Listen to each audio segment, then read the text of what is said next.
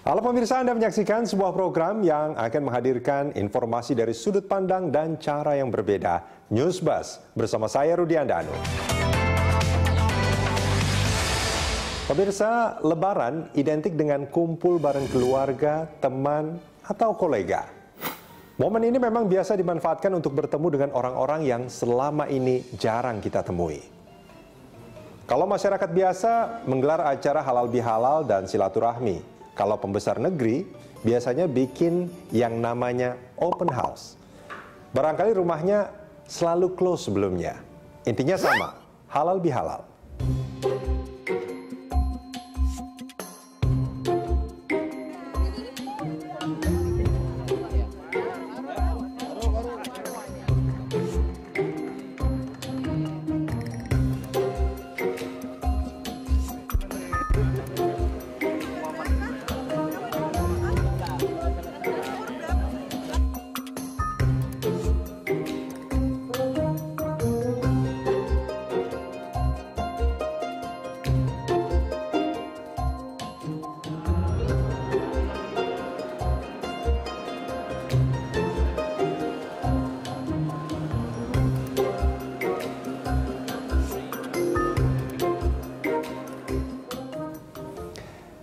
Tahun politik sekarang, yang suhunya terus meningkat, memang perlu diturunkan, dibikin adem.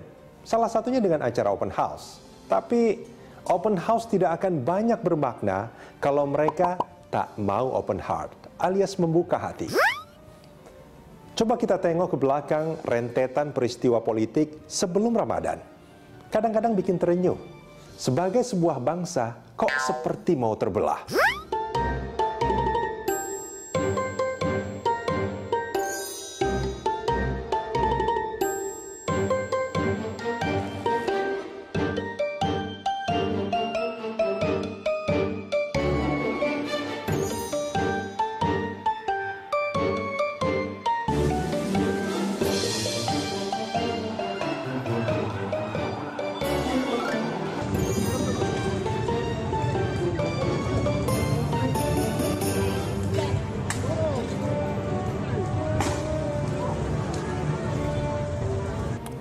Capek hati kalau melihat berita dan informasi di media sosial yang isinya banyak berantemnya.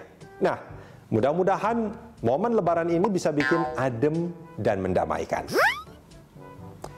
Mumpung aroma lebaran masih terasa, yuk kita open heart, membuka hati untuk menerima dan memaafkan kesalahan orang.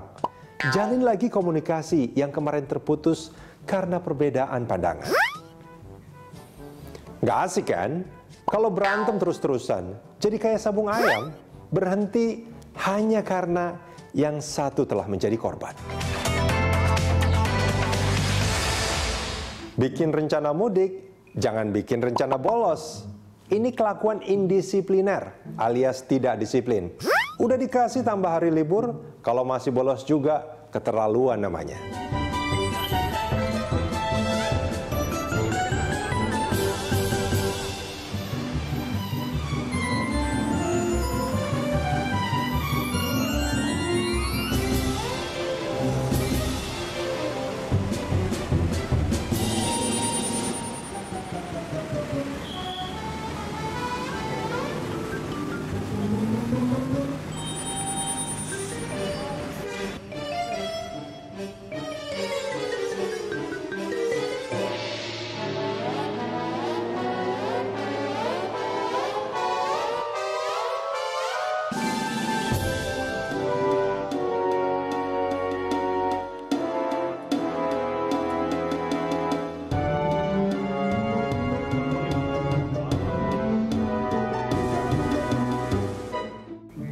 Pegawai negeri sipil itu abdi negara, tugasnya melayani warga.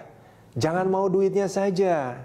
Jangan jadi kayak mandor kawat, kerja kendor, makan kuat. PNS bolos itu kebiasaan. Tiap tahun, tiap libur hari raya atau libur panjang, ada saja PNS yang tidak masuk kerja. Meski hari liburnya telah selesai.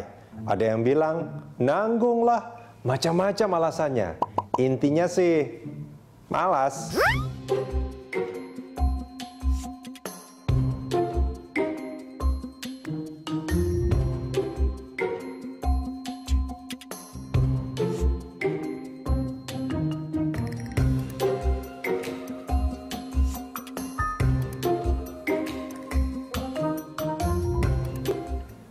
Libur lebaran tahun ini cukup panjang. Harinya ditambah dari cuti tahun-tahun sebelumnya, jadi 10 hari. Mestinya sih cukup, tak perlu nambah-nambah. Kalau lihat tahun kemarin, menurut Badan Kepegawaian Negara, ada puluhan PNS yang dipecat gara-gara bolos kerja. Itu bolosnya sudah sangat keterlaluan. Sanksi lain bisa teguran, tertulis, pemotongan tunjangan kinerja, atau penundaan kenaikan pangkat. Tapi lebih dari itu, coba deh, punya sedikit rasa malu. Abdi negara, kok malas-malesan?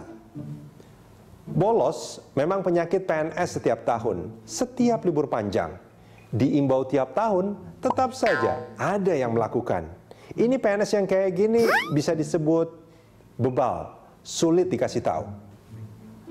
Memang jumlahnya tak sebanyak mereka yang rajin, tapi tetap saja gara-gara nila setitik rusak susu sebelanga Gara-gara PNS bebal yang jumlahnya tak seberapa, semua PNS dianggap sama, malas semua.